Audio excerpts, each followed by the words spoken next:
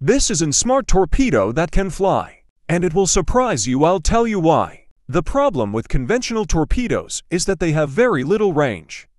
For example, the Mark 48 has a firing range of 48 kilometers. This is because, as we all know, they go through the water until they reach the objective. However, India created this intelligent torpedo that is capable of practically flying. It is a missile with a range of 600 kilometers. The curious thing is that when approaching the target, it lands in the water with a parachute, it submerges and continues its way through the water to avoid being detected and finally to explode.